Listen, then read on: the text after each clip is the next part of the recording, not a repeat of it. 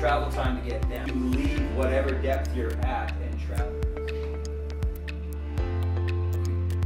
You know, you can be a running wall and you can go around the corner, slight angle, or on another wall down the passage there's nothing. Make sure your time to surface, your TTS, doesn't hit 60. At